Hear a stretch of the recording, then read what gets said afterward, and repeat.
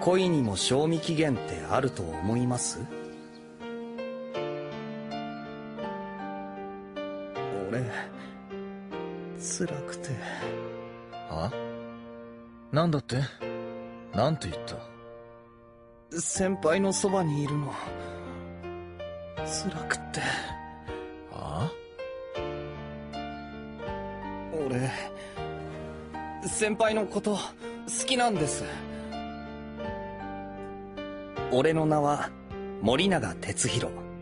農学部4年在学中。そして先輩は農学部修士2年生。大学入学後すぐ俺は先輩を見かけた。寡黙で学者肌であっさりとした顔に。細身の体。それにあの腰。しかし彼が寡黙ではなく不愛想学者肌ではなく欠落人間であることに気づくのに大して時間はかからなかった。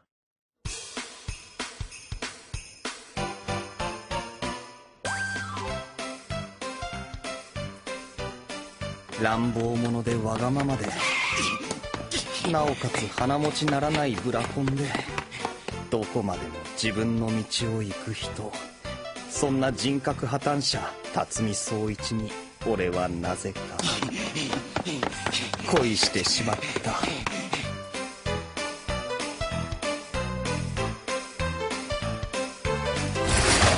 森永せ先輩？どうしたんです？血相変えてあのニュースは本当か？お前なら知ってんだろ。ニュース？あれだアメリカの。ああ。もしかしてサンフランシスコの？それだ。同性の結婚を認めるとは何事だ。ここでお知らせです。21世紀に入ってからサンフランシスコで同性の結婚が認められることになりました。まだしてね。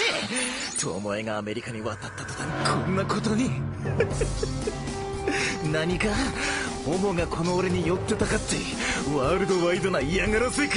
いやあのそれ被害妄想ひどすぎですから。先輩はこの世でホモが最も嫌いだと断言してはばからない人です。ホモは連帯責任！ええ巴が黒川と結婚するとか言い出したらどうしてくれる？どんな奇跡をもってしてもこの人を落とすのは無理な気がする。辛いだけだからさっさと諦めようと思いつつなんだかんだでもうずっと。この果てしなく報われなさそうな俺の不毛な片思いはついに5年目に突入しようとしている。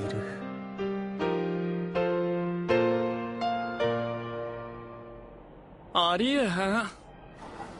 ほんまありえへんわ。5年ものの片思いなんてとっくに腐ってるって思うわ。おまけにエンゼル君ってばあんな先輩にミサを立ててろくに遊ぶこともせえへんし。いや別にミサを立ててるわけじゃ。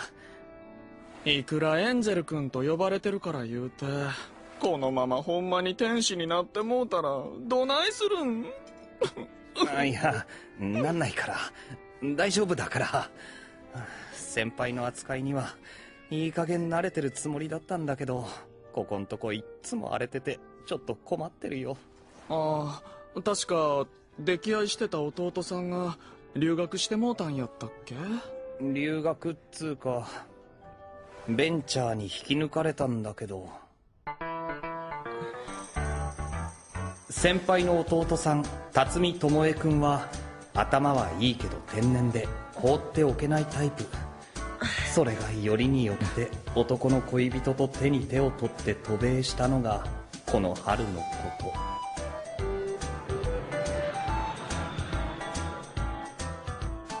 と。あれ以来ますますゲイに対する憎しみと偏見が深まっちゃって俺に対しても風当たりがきついのなんの？お気の毒様。はあな今日はな。そんなエンゼル君にあげたいもんがあんねん。え？えー、なんだろう。今日は誕生日でも何でもないし。そういうんやなくてな。エンゼル君を応援するっていう意味でな。じゃーん、これなんだ。何？お酒？瓶はそうやけど、中身はちゃうで。どんな不干渉でも、トロトロになっちゃうお薬やで。俺そんなのいらないよいらないなんでえな。あんまりエンゼル君が気の毒やから、特別に譲ってもろたんやて。冗談じゃないあの人に無理やりそんなの使った日には後でどんな目に遭わされるか何も無理やりせえなんて言うてへんがな。どういうこと？だってその人、ホモが大嫌いって言う割には、エンゼル君がゲイやって分かってからも、なんやかやと頼ってくんねやろ？ああ僕が思うに、素直になられへんだけとちゃうんかなって。いやそれは確実に違うと思うよ5年も膠着状態の恋には、これくらいのきっかけがちょうどええんやって。いらないからひろとくもう、人の行為は素直に受け取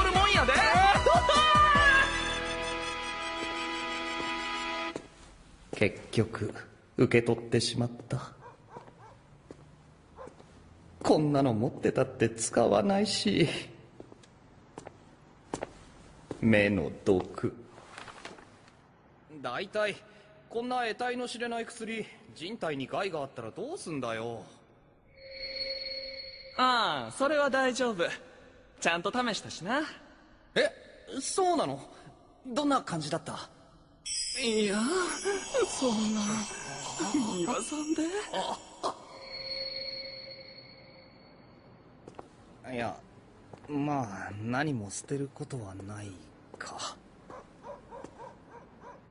でもほら使うわけじゃないからこうこの辺の棚の奥にしまっておくだけ